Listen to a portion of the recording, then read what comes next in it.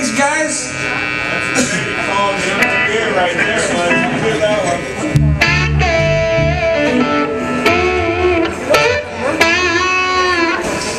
All right, uh, this song's off our latest album. We did it uh, last November.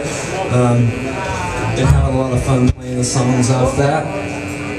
This is one called uh, "Bird on the Wire."